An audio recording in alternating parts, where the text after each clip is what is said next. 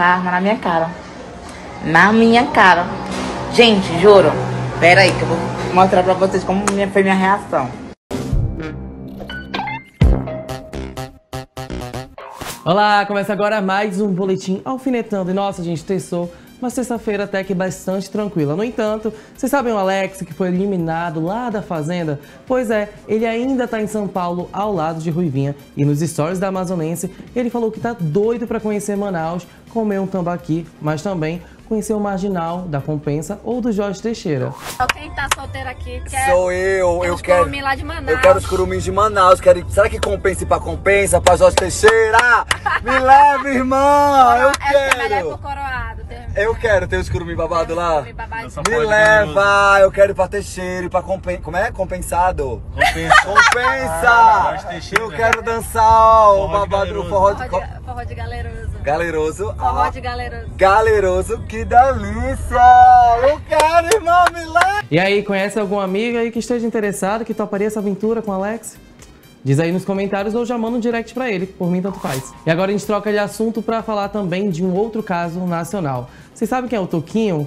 O Toquinho, gente. Pois é, ele acabou sendo vítima de um assalto e bastante corajoso, numa atitude bastante de impulso. Ele saiu correndo dos bandidos e por pouco não levou um balaço nas costas. Uma tentativa de assalto na frente do meu prédio. Gente, eu moro nesse bairro há cinco anos e nunca.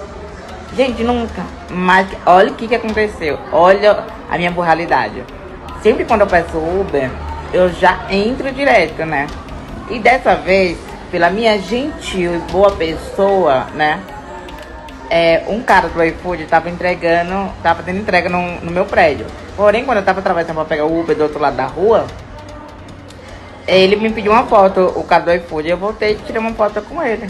Quando eu finalizei a foto, veio motoqueira com cara de garupa e colocou a arma na minha cara. Na minha cara. Gente, juro. Pera aí que eu vou mostrar pra vocês como foi minha reação. A minha reação foi assim, ó. A arma tá aqui, que eu sou baixinha, né? A arma tá aqui. O cara do iFood tava do meu lado e o rapaz que tava comigo tava do meu lado. Aqui, na minha frente.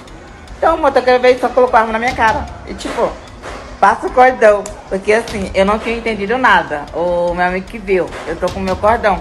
E ele falou, só passa o cordão. Eu olhei pra arma e olhei pro cara, olhei pra arma e eu voltei, gritando. Eu sei o quanto eu fui errado. Essa minha reação poderia ter causado algo bem pior, quanto pra mim, quanto pro cara do iFood e quanto pro meu amigo que estava comigo também. Então assim, não reage.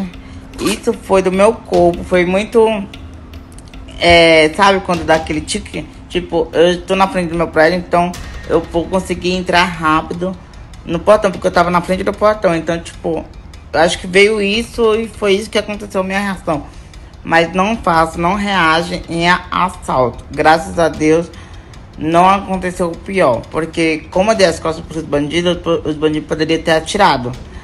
Mas Deus me deu um grande livramento. Pois é, Toquinho comentou nos stories que estava arrependido, que ele agiu sem pensar e que ele não aconselha ninguém a reagir a assalto. E que graças a Deus ele está bem. Essas foram as principais notícias de hoje. Curte, comente, compartilhe até mais. Tchau, tchau.